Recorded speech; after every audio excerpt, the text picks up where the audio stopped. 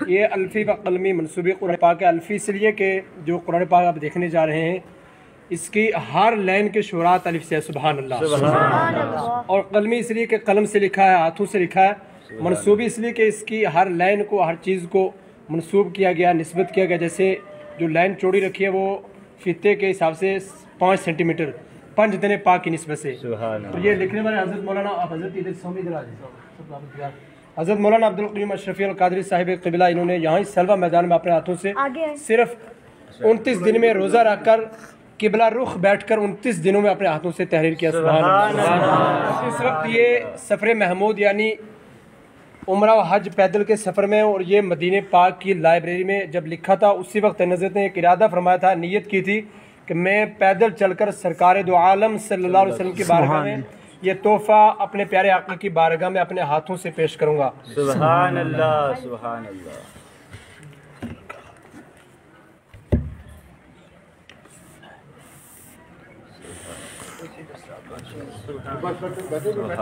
खड़े नहीं खड़े को बस बैठे जैसे बैठे।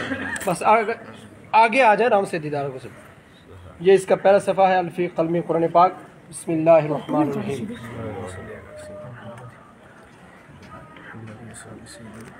बिस्मिल्लाहिर्रहमानिर्रहीम। ये आप देख रहे हैं ग्रामी अल्लाह रबुल्ज़त की और आका करीम सल्लल्लाहु अलैहि वसल्लम के समय के हुजूर पाने दो तीन अशार भी नाते, मुस्तफ़ा भी पढ़ते रहे और दीदार भी करते हैं। सल्लल्लाहु अलैहि रसूल।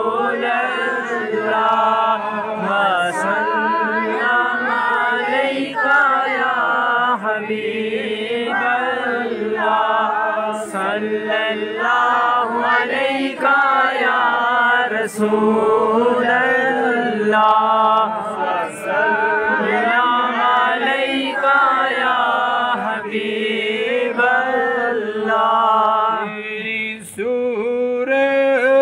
तेरी सूरत जमाने से निराली सुभान अल्लाह सुभान अल्लाह सूरत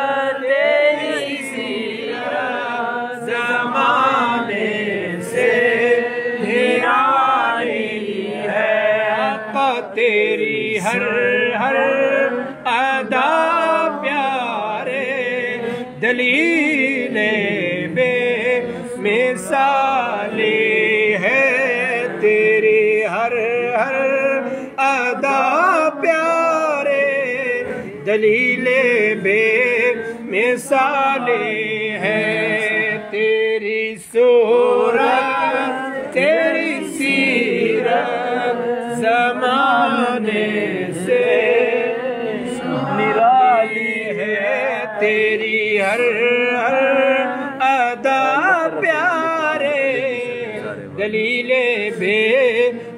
मिसाले जो अलिफ आप दिखाई दे रहा है शुरू में हर लाइन के शुरू में अलिफ।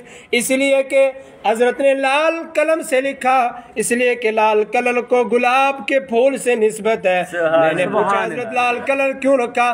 फरमाया इसलिए कि गुलाब के फूल को हमारे आका के पसीने से निस्बत है।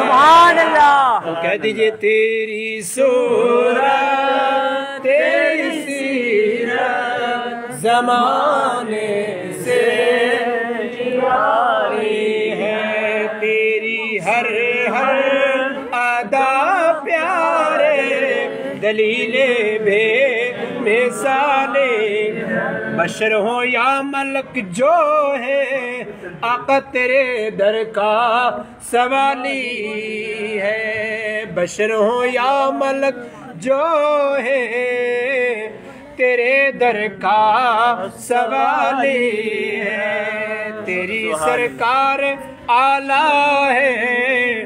तेरा दरबार आली है। तेरी सूरत तेरी सीरत जमाने से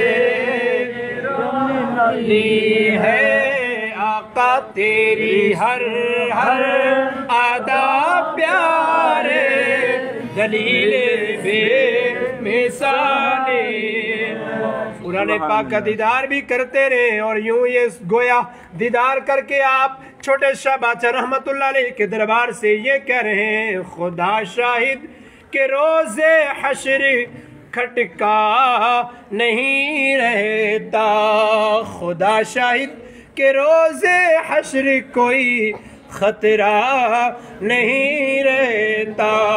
मुझे जब याद आता है कि मेरा कौन वाली अल्लाह, सुभान मुझे जब याद आता है कि मेरा कौन वाली है। आका तेरे सूरत तेरी सीरत जमाने से निराली है। एक ये प्रोग्राम एक ये जलसा है कि ये महफिल है। आला हज़रत फरमाते हैं, फकत इतना सबब है इनकाद, बज में मशर का।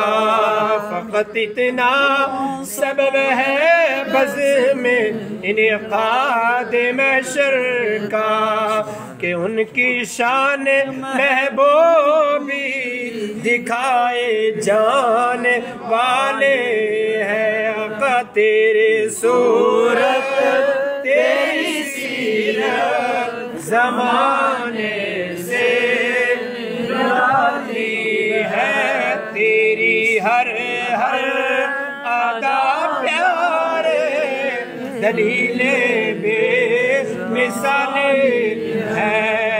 है मिल रही है। शाद शाद इनका सवाली है मुरादे मिल रही है। शाद शाद इनका सवाली है अरे लबों पर इल्तिजा है।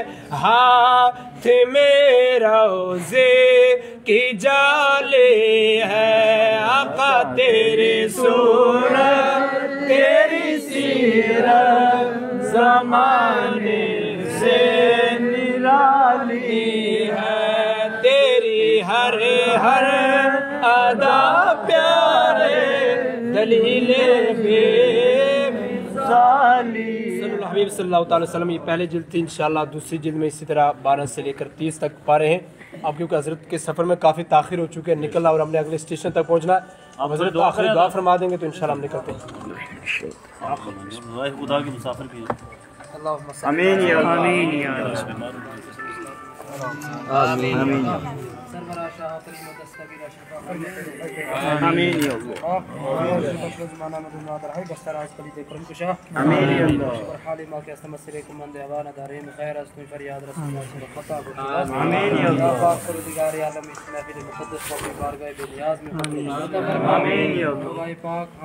तमाम तरह की जितनी परेशानियाँ मुसीबतें हैं उलझने